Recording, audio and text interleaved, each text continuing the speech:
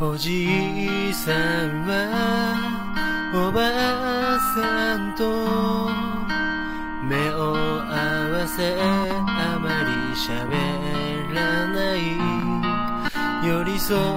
てきた月日の中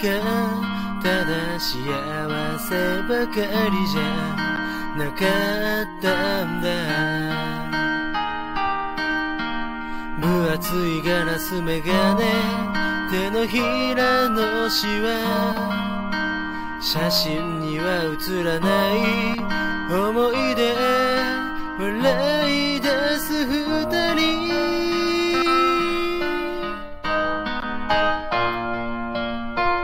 出会った日恋に気づ